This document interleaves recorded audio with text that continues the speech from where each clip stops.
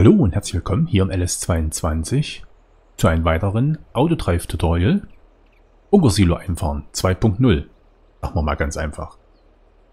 Ja, warum 2.0? Ja, es gab ja schon mal ein Video von mir äh, zum Bunkersilo einfahren. Ähm, da hatten mir dann einige Zuschauer geschrieben, ähm, ja, fahr doch nicht rückwärts in das Silo rein. Klar, müssen wir rückwärts rein. Aber äh, nicht mit Rückwärtsstrecke, sondern mit beidseitig befahrbarer Strecke so dass die gleich wieder als Ausfahrt genutzt werden kann. Äh, dachte ich mir, gut, muss sicherlich auch funktionieren. Ähm, hatte ich dann mal so ein bisschen noch was ausprobiert. Muss ehrlich sagen, das geht auch sehr gut. Ne? Ja, und dann hatte mich äh, der Alice noch angeschrieben, er kommt nicht zurecht mit seinem Bunkersilo, ähm, wenn seine Fahrer das Häcksel gut bringen. Wenn das Silo halb voll wird, kommen sie nicht mehr fort. Nicht immer, aber manche kommen dann einfach nicht mehr fort, fahren nicht zurück zum Feld, stellen die Arbeit ein, wie auch immer. Ja, dann hatte ich ihm gesagt, schick mir doch mal deine Datei. Ähm, ja, das hat er getan und ähm, ja, das ist richtig. Wenn ich mal hier das Ganze anschalte, ähm, sieht man das jetzt? Doch, sieht man. Also er hat die Strecke rückwärts eingefahren und ähm, ist dann von hier aus vorwärts raus, aber ist eben hier zu kurz rum. Wenn ich jetzt den ganzen Trecker in der ganzen Länge sehe, ähm, dann leuchtet mir das schon ein, denn er würde jetzt abgekippt haben, wenn das Silo etwas voller ist. Dann findet er natürlich jetzt hier keinen Weg, wo er wieder wegfahren kann. Ich meine, er könnte jetzt sein, er nimmt den Vorwärtsstrecke, fährt nochmal zurück, dann würde er nicht aufs Silo kommen. Also das ist schon, ähm, ja, das ist ja einfach zu kurz. Ne? Ich meine, da braucht Autodrive schon ein bisschen mehr Platz. Ne? So, ich hatte das Ganze dann mal abgeändert. Ähm, das müssten wir eigentlich hier finden. Ich glaube, das ist dann der Kurs gewesen. Den laden wir mal. Genau, das hatte ich ihn dann abgeändert, schon mit blauer Strecke. Das, was ich vorhin erwähnte, ähm, das sieht jetzt so aus, dass praktisch meine Fanglinie, sag ich mal, zum Wegfahren hier vorne hingesetzt habe. Die Linie hier zum Silo ausladen ist geblieben. Die andere Linie ist auch geblieben, um manuell auch an Silos auszukippen. Und hier hinten ist die Zufahrt gewesen. So habe das dann praktisch äh, hier vorne sehen wir, sind drei Punkte blau, sodass wir rückwärts fahren. Wir fahren auf die erste Linie und schieben dann hier rückwärts ins Silo rein, haben dort sechs Abladestellen und er nimmt praktisch die blaue Linie, weil er ist ja beidseitig befahrbar, nimmt er auch wieder zum Rausfahren. Dass das problemlos geht, können wir mal hier gucken. Wenn wir ihn jetzt einfach einstellen und sagen, er soll ins Silo 1 fahren, dann macht er das natürlich auch. Müssen wir jetzt hier ein bisschen rückwärts rangieren, ja. Zum Glück nicht mit Drehschemeln, ne? Aber viel besser sieht es auch nicht aus. Ich glaube, ich hätte vorwärts fahren sollen. Ich wollte nämlich hier auf die Zufahrt einfach bestellen und sagen ihm jetzt einfach, er soll ins Silo 1 fahren und meinetwegen auch, äh, wir nehmen einfach hier 2 oder 1, ist fast egal. Schicken wir mal einfach dorthin. Da sehen wir, er fährt dann vor und fährt dann auf der Rückwärtslinie bis hinter zu seinem Haltepunkt. Ja. Ähm, ich habe hier auch die Linie ein bisschen weiter rausgezogen, an der blauen Linie vorbei. So, dass der Trecker auch genug Platz hat, um mit seinem Hänger, wenn er hinten rumkommt, das auch entsprechend gerade zieht. Ne? Weil er fährt ja nicht exakt genau vor bis auf den Punkt. Er fängt ja vorher an, rückwärts zu schieben. Ne?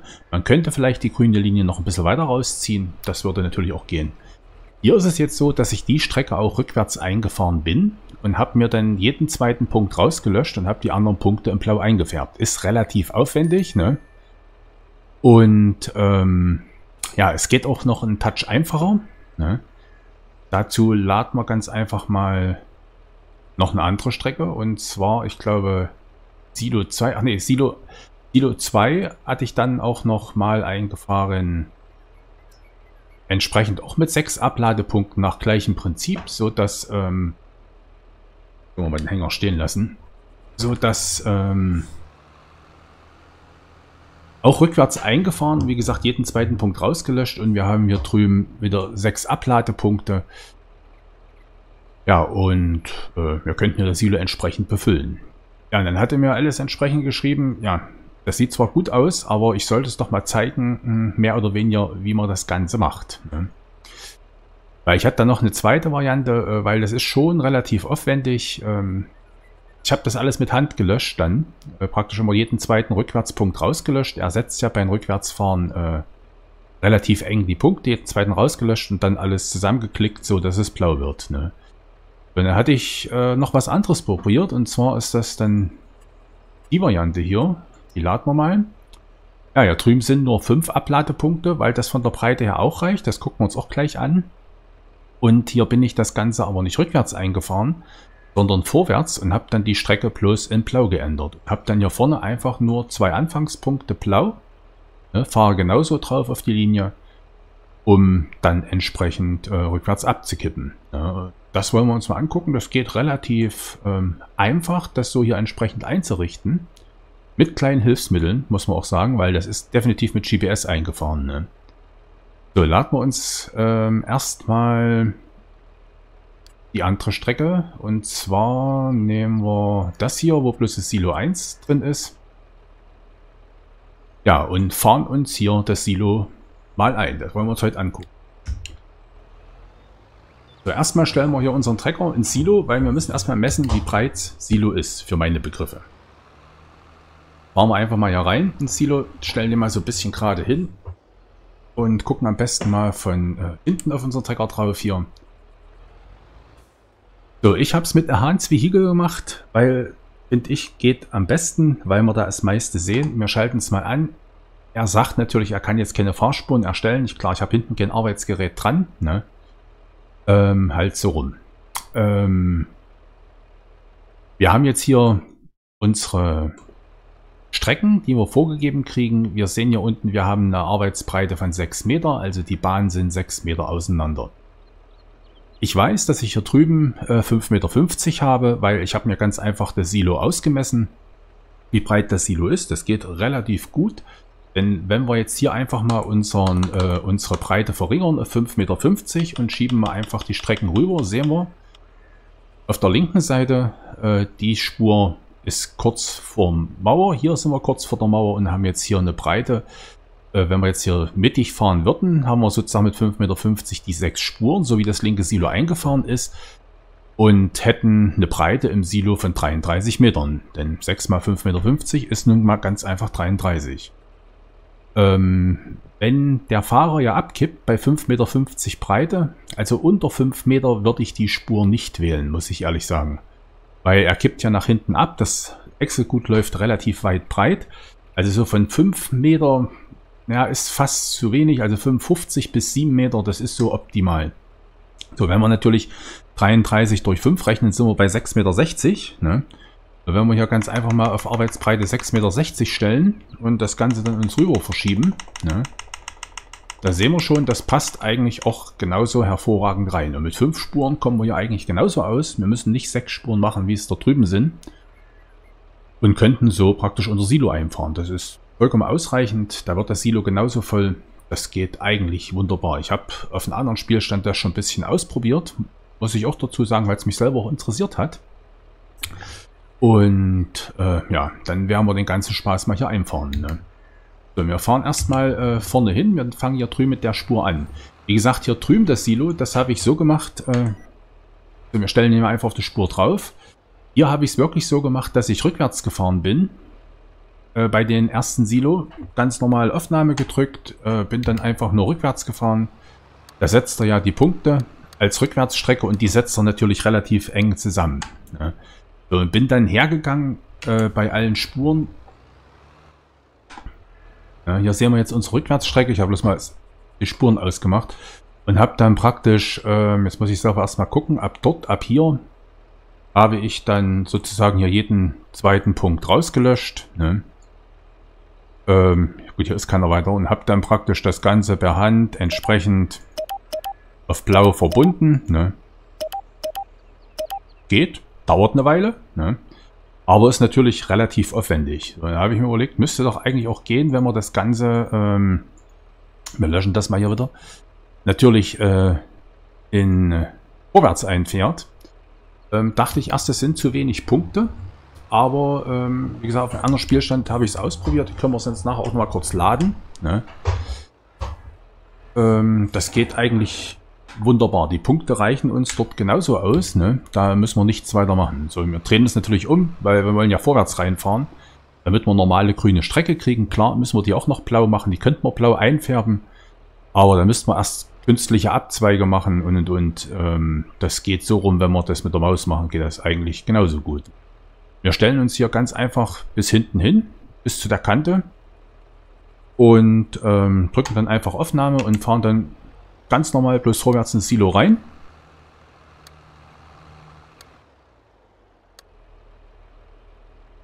So, er setzt jetzt hier noch einen Punkt. Ähm, ich will natürlich weiter vorne noch einen haben. Ich drücke, mache die Aufnahme aus, mache es nochmal an und noch wieder aus, dass ich... Ach gut, er setzt mir nicht vorne hin den Punkt. Na, ist egal. So, nehmen wir die zweite Spur. Weil die Punkte müssen wir uns dann halt noch ein bisschen nach vorne verschieben, aber das spielt eigentlich keine Rolle. Also sehr viel fahre ich hier nicht. Ich klicke dann eben relativ viel mit der Maus zusammen, muss ich wirklich so sagen. Ne? So, nicht, dass wir hinten runterfahren, dass wir noch hier im, im BGA-Bunker landen. Ne?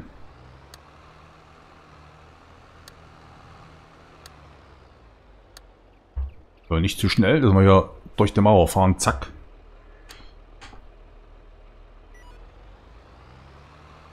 So, nächste Spur. Erstmal einrasten hier, dass wir gerade sind.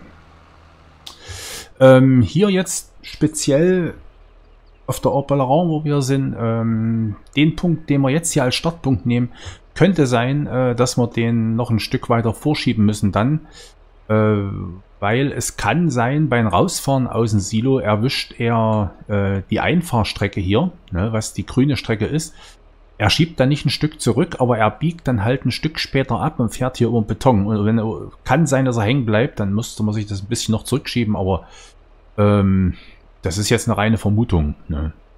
Weil ich habe gesehen, wenn er nämlich die Einfahrstrecke beim äh, Silo ausfahren nimmt, was die grüne Strecke hier drüben ist, dann äh, fährt er nicht von dem Punkt auf die Fanglinie, sondern er fährt hier vorne eine etwas größere Kurve über den Beton. Das würde heißen, er kommt hier rum und könnte sein, dass er hängt bleibt. Ich wie gesagt, ich weiß es nicht, ist möglich, dass das passiert. Aber da müsste man sich das halt ein Stück äh, zurück verschieben. So, drücken wir Aufnahme. Fahren wir ja noch die dritte Spur ein. Wir waren schon gar nicht so weit hinten, wie man sieht. Ne?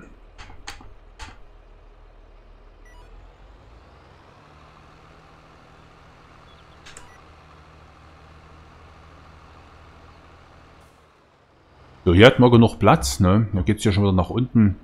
Da halt mal auch versuchen, ja auf der Höhe anzuhalten. So wie wir die anderen Punkte gesetzt haben.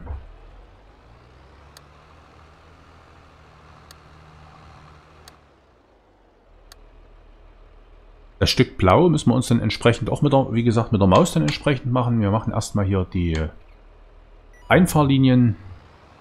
So, und dann drüben noch die Spur 5.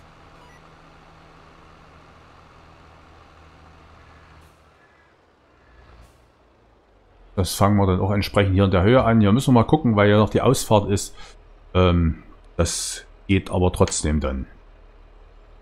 So, Vorwärtsgang rein.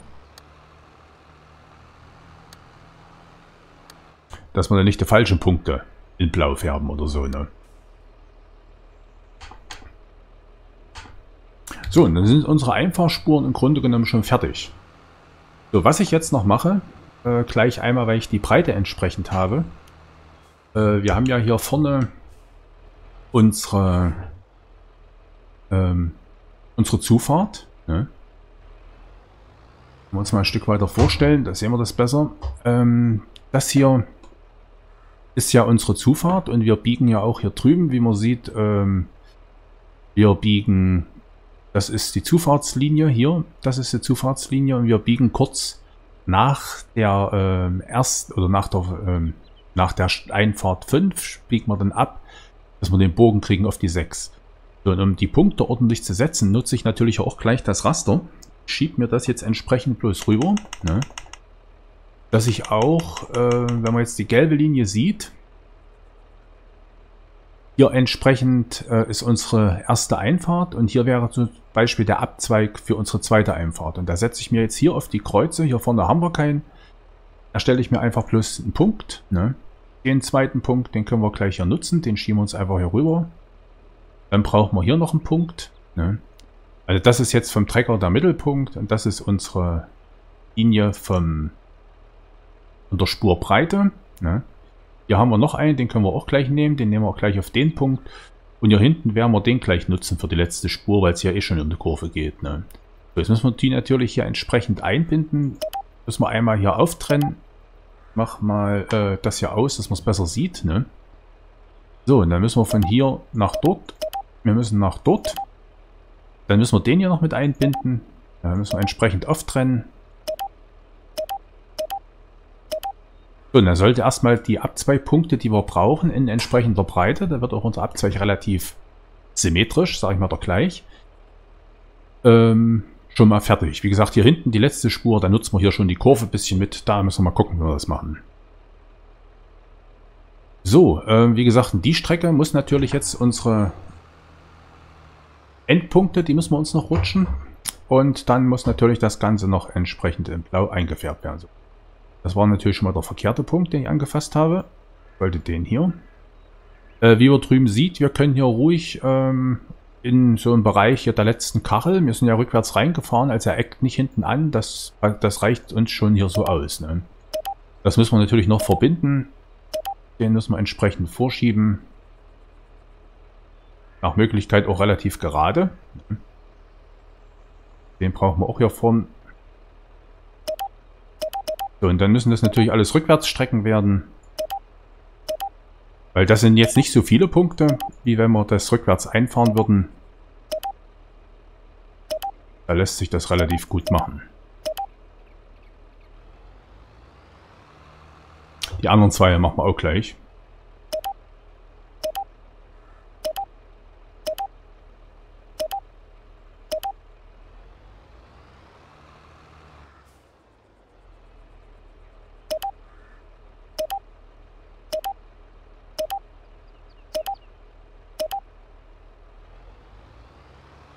Sicherlich, wenn wir mehr Fahrbetrieb hätten oder mehr Spuren hätten, dann wird es auch dazu kommen, dass wir dann auch mehr Linien haben. So, das letzte Stück, das färbt man nicht mehr äh, blau ein, weil wir sehen ja hier drüben, haben wir auch den Abzweig geschaffen auf äh, unsere Ausfahrtslinie. Ne? Und da werden wir uns hier so, äh, wenn wir gucken, den Punkt hier nehmen, das ist ja jetzt, ich weiß nicht, ob man das sieht, das näher ranzoomen, das ist ja praktisch unsere Linie nach vorn. Da werden wir uns hier so in der Höhe, das reicht zum Ausfahren. Ne? Da werden wir uns auch entsprechend hier einen Punkt auf der Linie setzen. Wir werden hier drüben brauchen wir einen. Und hier brauchen wir auch einen. Werden wir natürlich kräftig daneben. So, ähm, das muss natürlich noch blaue Linie werden. Mit der vorne. Da sehen wir schon, dass wir auch die Flucht haben. Wenn wir erst die Linie verbinden, sehen wir auch, dass wir schön auf der Flucht sind. Deshalb verbinden wir das erst und schieben uns das entsprechend rüber. Halt, rückwärts.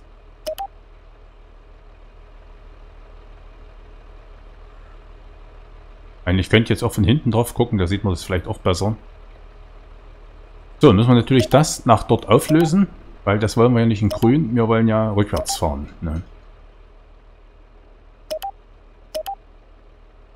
Das war natürlich jetzt günstig, war der falsche Punkt. Ne?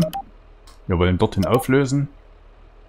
So, wir brauchen den Punkt, müssen wir noch auflösen zu den. Den zu den. Jetzt muss ich mal die Kamera ein bisschen drehen, sonst blicke ich in mein Autodreifenster rum. Den wollen wir auch lösen zu den. So. Jetzt drückt man ganz einfach rechte Shift-Taste, die rechte Shift-Taste und verbinden das mit den und das mit den. Weil wenn wir die rechte Shift-Taste äh, drücken und mit der Maus klicken, dann wird es ja, ich hoffe mal, es erkennt man, wird ja hellblaue Rückwärtsstrecke. Das reicht uns zum Rückwärtsfahren. So. Den nach dort und den nach dort. Hier genau dasselbe. So, dann müssen wir die letzten zwei Spuren noch machen.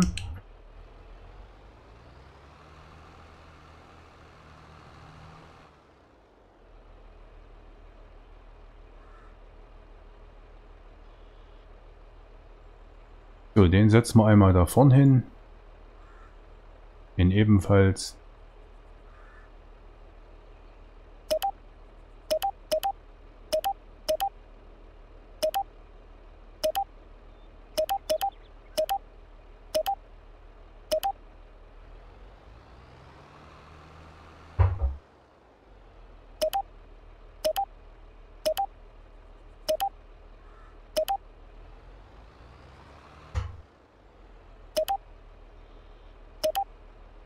So, hier müssen wir natürlich jetzt aufpassen, wo wir sind. Wenn wir hier drauf gehen, wir sehen ja den Punkt, äh, was jetzt hier hinten, der rosa Punkt, der aufleuchtet, den müssen wir einfärben. Ne?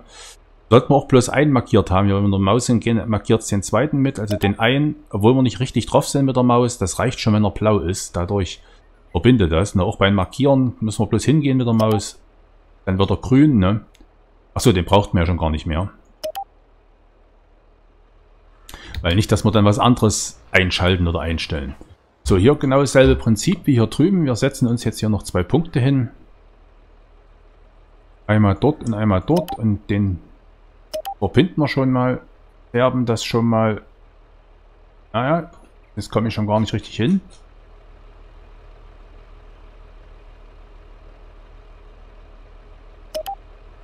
Hier ist er grün, okay.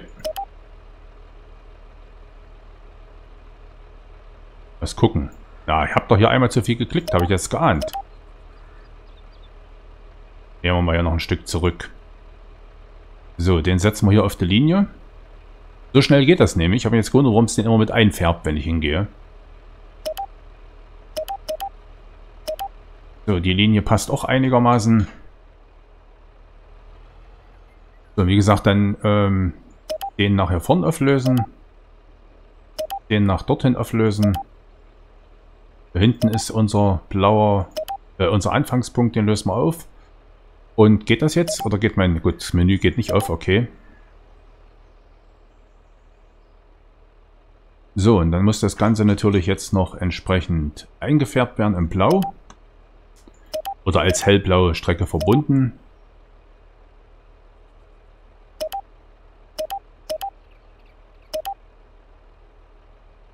Somit werden erstmal die Zufahrten bis hinter fertig.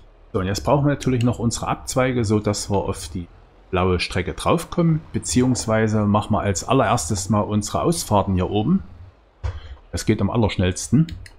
Wir müssen ja jetzt von, wie man drüben sieht, von der Rückwärtsstrecke, näher ran, dass man das sieht, also von den Übergang, äh, wo jetzt von Blau auf, um Dresden jetzt rum, äh, von Blau auf äh, also von rückwärts auf beidseitig befahrbar, müssen wir natürlich jetzt hier abzweigen.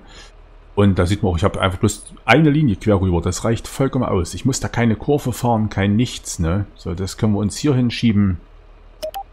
Das müssen wir einmal so verbinden. Das war sozusagen die erste Spur. Dann brauchen wir hier die zweite Spur. Da brauchen wir zwischen einen Punkt. Den setzen wir uns hier einfach. Dann müssen wir mal gucken. Ähm, der ist mit denen verbunden. Dann verbinden wir das erstmal bis hier rüber wieder. Von denen nach dort. Ja, und hier können wir einfach den Ausfahrtspunkt hier schon mit nutzen. Oder den Punkt können wir schon nutzen. Das, das reicht schon so zu. Äh, von hier können wir schon einfach auf die Kurve gehen mit. Damit findet er auch einen Weg nach draußen. Und von dem Punkt aus, ähm, das reicht, wenn wir hier drüben rangehen. Das reicht vollkommen zu. Den könnten wir uns ein Stück weiter noch nach vorn verschieben. Es ist ja praktisch von unserer Einfahrtstrecke und das ist die Linie, die entlang führt. Das reicht so vollkommen aus, dass wir hier nach vorn wegfahren können. So, die Ausfahrten wären schon fertig. Jetzt brauchen wir natürlich noch unsere Zufahrten. Bei den Zufahrten ist es so, wenn wir jetzt vorne ähm, gucken, wie rum ich das jetzt drehe, dass man es am besten sieht.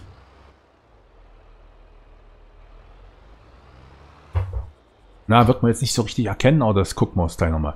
Ähm, das soll ja die Zufahrt sein, der Punkt, den wir uns vorhin gesetzt hatten, äh, für die Zufahrt hier hinten. So, und das könnten wir uns jetzt hier mit der Maus aufziehen, wie man das sieht. Ne? Wenn wir natürlich ein Stück raus wollen, dann passiert folgendes. Ich weiß nicht, dass man vorne den Punkt markiert. Fahren wir hier noch ein Stück zurück. Ja, jetzt sieht man es schön. Wenn ich das ja aufziehe, macht der hinten so eine komische Kurve. Das würde natürlich nicht funktionieren. Ne? Also das funktioniert so nicht. Ähm, mit der Kurve mit rückwärts, das, ähm, ja, das müssten wir dann wieder entsprechend rauslöschen. Was ich dann immer mache, wenn ich jetzt von vorwärts komme hier auf rückwärts, dass wir eine schöne Kurve ziehen können.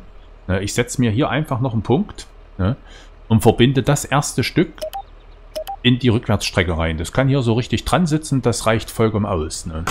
So, wenn wir jetzt vorne mal rauszoomen, dass ich meinen Punkt wieder habe, wenn wir jetzt hier klicken, und gehen hier auf den Punkt, den wir ihn geschaffen haben, können wir hier schön die Linie rausziehen. Ich ziehe die natürlich ein Stück drüber, über die blaue Linie, damit er auch entsprechend seinen Hänger gerade stellen kann. Ne? So, brauchen wir bloß anklicken, fertig. Ne? So, und das machen wir jetzt mit den anderen äh, Punkten, machen wir das noch genauso.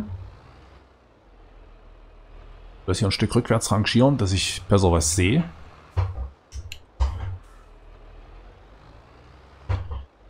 So, wie gesagt, wir brauchen jetzt einmal hier ein. Da setzen wir uns hier einen Punkt hin. Also Punkt setzen, linke Steuerungstaste und linke Maustaste drücken. Ich denke mal, das dürfte jedem klar sein. Ne? So, hier setzen wir uns noch einen hin.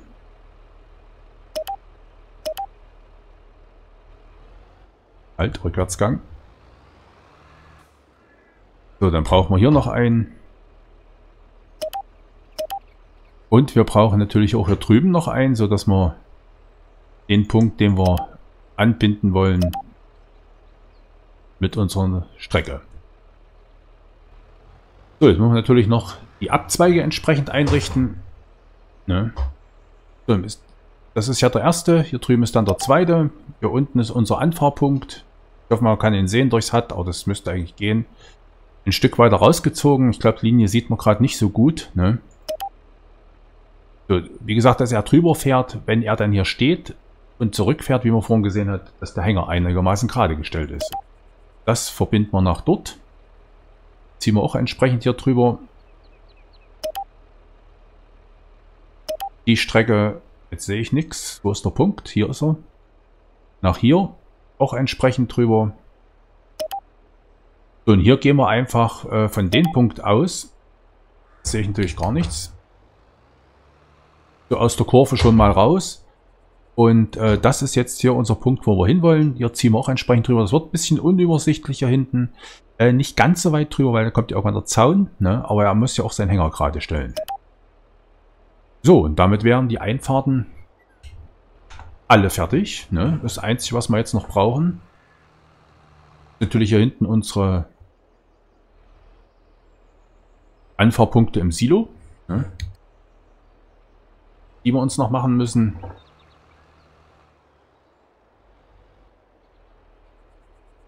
So, das wird dann Silo 2, Abladen 1. Das wird dann Silo 2 und 2.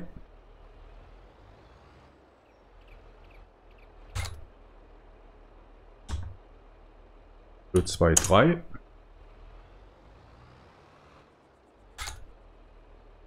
Gut. 2, 4 und Silo 2.5.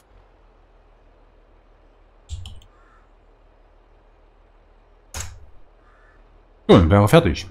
Das Einzige, was wir jetzt noch machen müssen, ist natürlich die ganzen Sachen in, in extra Ordner. Ne? Wenn wir jetzt Silo 1, brauchen wir dann noch einen Ordner, sozusagen BGA. Silo 2. Da ist er. Und dann schieben wir das alles hier rein. Und dann können wir hier entsprechend rotierend unser Häckselgut anliefern lassen. Fertig. Ne? Ja, wie gesagt, hier ist eins, hier ist eben jetzt hier die Spur 3. Da könnte es eben sein, wenn er jetzt wirklich beim Ausfahren, wenn Silo voller wird, äh, diese Ausfahrtsspur nimmt, er schiebt nicht zurück. Er fährt eben weiter vor, merkt, dass er auf rückwärts ist mit den zwei Punkten und biegt dann nicht in der Höhe ab, ne? wie wir ja hier den Abzweig... Achso. Ähm, wie wir dann hier den Abzweig eingezeichnet haben. Er biegt dann nicht hier ab, er wird er jetzt hier hinten ungefähr abbiegen. Kann sein, dass er die Kante drüber fährt, dann muss man sich einfach hier die Punkte hier so, zack, noch ein Stück zurückziehen. Den natürlich auch, ne? Natürlich nicht ein, Abladepunkt vom Silo, sondern den hier. Einfach hier ein Stück zurück. Das müsste auch reichen, um gerade zu ziehen mit dem Hänger. Das sollte nicht das Problem sein. Ne? Ja, das ist fertig, das Silo. Ne? So schnell haben wir eigentlich auch äh, ein Bunkersilo hier entsprechend eingerichtet. Wie gesagt, nur mit fünf Spuren bis sieben Meter Breite. Das reicht vollkommen zu. Ne? Wir können mal hier schnell noch auf den anderen Spielstand gucken. Ähm, dann müssen wir einmal hier weg. Äh, speichern wir mal trotzdem. Ja, will ich.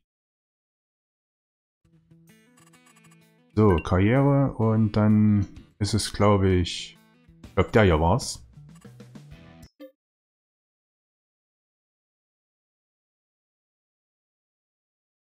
Weil da hatte ich das dann mal ausprobiert. Also ähm, vorne im ersten Silo habe ich auch ausprobiert. Da sind, glaube ich, 2,5 Millionen drin mit einfach nur abladen, ohne was aufschieben.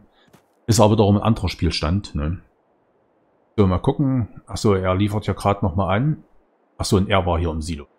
Also hier hinten habe ich schon nach dem gleichen Prinzip ähm, das Ganze eingefahren.